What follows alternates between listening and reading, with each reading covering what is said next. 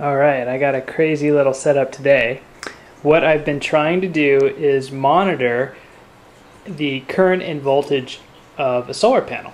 Now obviously you can do that by using two multimeters, one to measure the voltage, like over here, it says I'm getting about 5.29 volts, or and one to measure the current, which says I'm getting about 1.57 milliamps. So very, very small current right now. And I'm using this little halogen to reproduce the sun right here.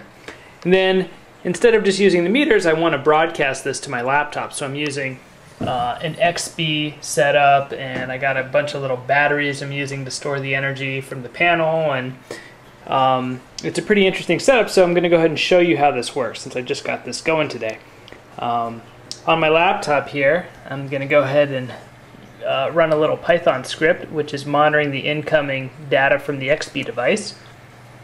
And you can see here that it's actually giving me voltage and current values. Right now I'm not getting any current that's uh, at least not enough I can measure and I'm getting about 5.3 volts off the solar panel combined with the batteries. Oops, that negative is my own buggy stuff. Okay, let's go ahead and try turning up our light and see if we can increase the values and see it on the XBee. So I'm to go ahead and crank up the light switch here. You can see right now our panel has jumped up to about a reading of about 12 milliamp. Um, that's not really a whole lot to register. It's just barely registering right here on the laptop is like 10 milliamp. It's sort of fluctuating in between. Our voltage on the laptop side, 5.47 volts. Check the voltage on the multimeter, 5.46, so I'm very close on voltage. I'm just using a 10 ohm resistor in order to uh, calculate these things and two ADC ports off the XBee. So I'm going to go ahead and really crank this up now. You can see now we're getting about 100 milliamps off the meter, 6.85 volts. If we check over on the laptop, we'll see something like, oh, whoops, I keep moving the panel, sorry.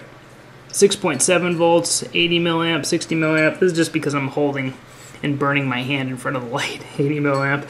So I'm getting close with these numbers. Um, I'm within 30 milliamp all the time, and if I could actually stabilize the panel and not hold it with my hands, I do a little better. But what's really interesting about this is now I can start remotely monitoring uh, my uh, electric car batteries, my solar panel batteries, any batteries that I'm desulfating, even like use this setup for remote embedded hardware devices where I would just want to put a temperature sensor outdoors with a little battery pack and not run power to it from the house. So this could be a really fun setup for monitoring batteries of all sorts and being able to have it log centrally to one laptop. All right, thank you.